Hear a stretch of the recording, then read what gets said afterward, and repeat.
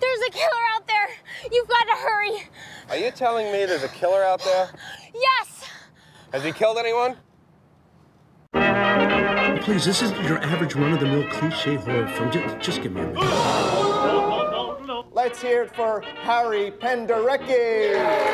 This is it for Harry. This is his last chance. Your last three films combined didn't earn enough to pay back the catering tab. This is the one, the big one, don't you see? We're, we're scouting locations for a film, What kind of film? a horror film. Oh, nice. Need a killer? Oh my God! Can you tell us what inspires you to make such violent films? I'm not familiar with this one. Well, this had a very short run. It's one of my more graphic films.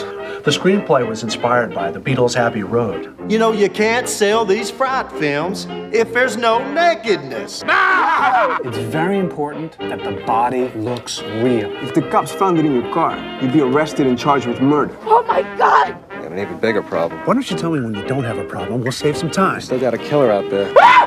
a knife.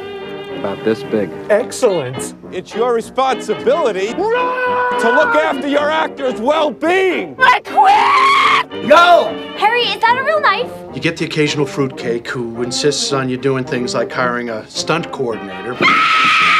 Not wrapped in my pants. That's never been done before. We'll put the blood in later with computer effects. Computer. Dude, all I have is Nintendo. Most lesser directors would have eaten a bullet by now. Too determined. What the? Too chicken. He's too scared to blow his brains out. You know, there were some kids killed for real in these woods. Oh, man. He's cutting up them fine ooters.